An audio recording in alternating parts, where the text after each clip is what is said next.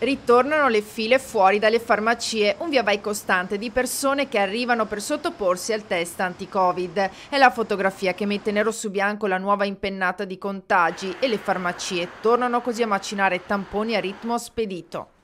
Più o meno quanti tamponi fate al giorno? Eh, viaggiamo sui 50-60 tamponi, 70, dipende dalle, dalle richieste. Su questi quanti positivi?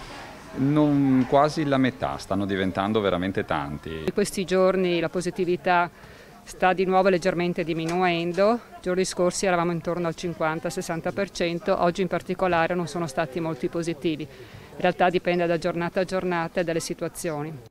Mai così alti da febbraio, 9.214 nuovi positivi in Veneto nelle ultime 24 ore, 1.635 a Vicenza. Tra le province più colpite dalla furia di Omicron 5, con 16.376 casi attualmente positivi, è secondi regione dopo Padova. Ma il dato ufficiale potrebbe essere anche tre volte superiore. Per ogni positivo registrato con il tampone infatti ce ne sarebbero almeno due che si sottopongono al test fai da te te a casa, risultano positivi magari a pochi giorni dalla partenza per le vacanze e decidono così di non dichiararsi all'ULS, sfuggendo di fatto allo screening. Il fenomeno ormai è, quello dell'iceberg, noi misuriamo, eh, misuriamo, la punta, vediamo la punta dell'iceberg, ma non riusciamo a misurare quello che sta sotto il livello dell'acqua.